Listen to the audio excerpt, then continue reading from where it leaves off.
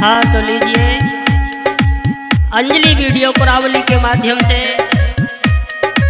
और मैं रवीश कुमार शास्त्री, ग्राम सोरारा शेषपुर धाम।